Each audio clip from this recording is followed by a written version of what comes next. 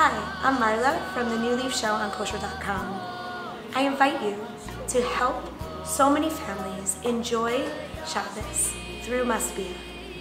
Today I prepared four salad dressings to add to this beautiful Shabbos Seudah that you're making possible, helping so many families enjoy Shabbos in dignity and grace with so much flavor and a nutritious feast.